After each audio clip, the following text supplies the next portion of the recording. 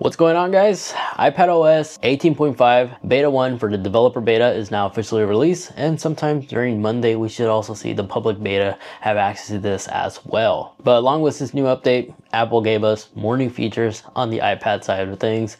So we are going to go ahead and cover all that. And of course, timestamp to everything will be in the description down below. So compatible devices, nothing here has changed. If your iPad can run iPadOS 18, your iPad will be fully compatible to run this latest version of iPad OS once it becomes available to everybody else. But along with this new update, we also receive beta 1 for the iOS 18.5, watchOS, tvOS, visionOS, even HomePod OS.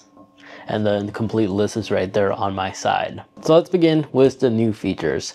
And the first new change can be located in the Mail app. When you launch the Mail app, if you tap on these dots over here next to the section message, you have the ability to include contact photos as well as check mark, uncheck mark to prioritize.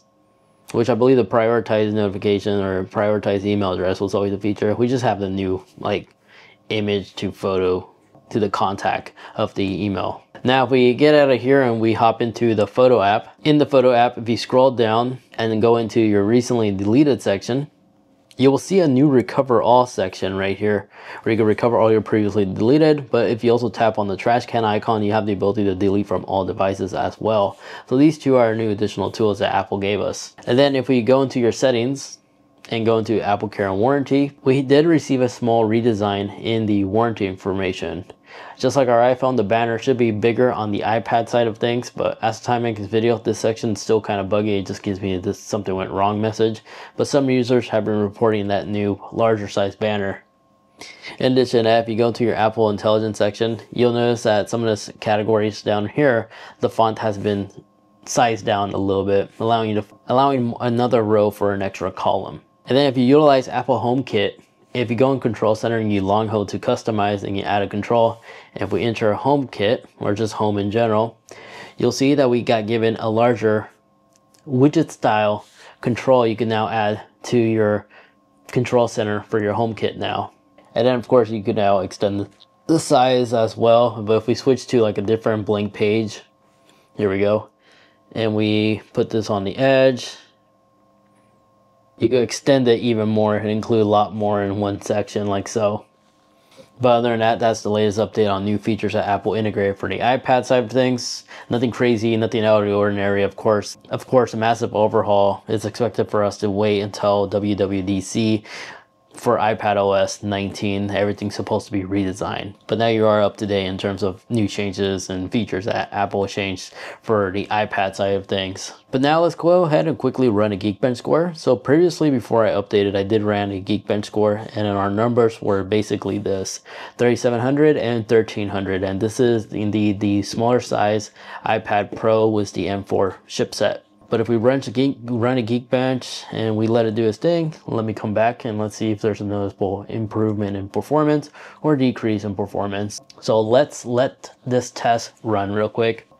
There we go. So here are our official numbers, 3,700 on single score and 13,000 in the multi-score. So we go back to our history. Let's go ahead and run. Oop, didn't mean to do that. Go in history and let's go run the two. So the first one was iPad OS 18.4. We did actually receive a slight performance in the uh, multi-core, but nothing crazy out of the ordinary. And warmth wise, I don't know, it doesn't feel that hot. Probably like 78, 85 degrees or so Fahrenheit. And let's take our thermos gun real quick. Yeah, about 80 degrees, 77 Fahrenheit, it looks like at most. Which probably cooled down a bit, but I wouldn't be surprised this was at 80 Fahrenheit when it's running the test. No crazy throttling or anything like that. Pretty normal, optimal temperature.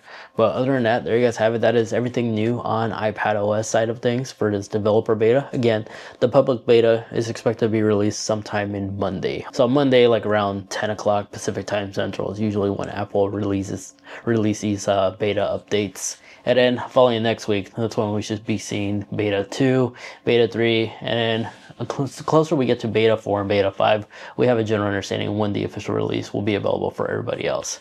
But other than that, there you guys have it. Thank you so much for watching. If you wish to watch more, there's this video over there where I cover all the new changes on the iPhone side of things. And underneath that, it's a tips and trick video, if you haven't watched it yet, about Apple CarPlay. Thank you once again for watching.